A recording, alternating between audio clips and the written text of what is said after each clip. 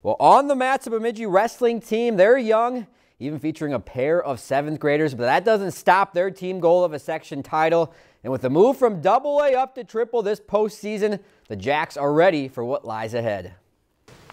Over a month into the season, and Bemidji Wrestling head coach Rance Barr has a lot of things he's liked so far from his team. They're good kids, they're good people, um, they're, real, they're great to work with, they're coachable, they're hard workers.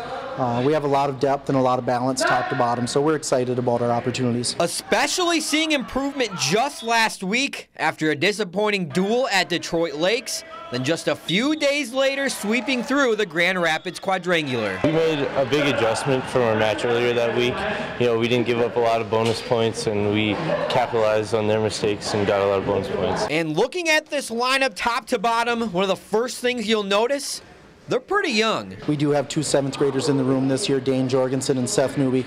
Newby, of course, uh, pinned his way through the Paul Bunyan tournament, which is a very, very difficult tournament. Um, we're very excited for him. He's having a great year. We have a lot of freshmen. I think we have 15 or 16 freshmen in the room. A lot of young kids, but uh, very knowledgeable about wrestling. And they'll need this depth as they bump up to Class Triple A with one team in particular that they're looking out for in their section. Section finals will probably have Willmar. They're tough, but we should be able to pull it out. They have four state place winners on their team, three returning um, state finalists. So uh, they're obviously going to score some points against uh, every team that they wrestle. So even with the bump up and a lineup featuring some young faces, this team's goal still remains the same.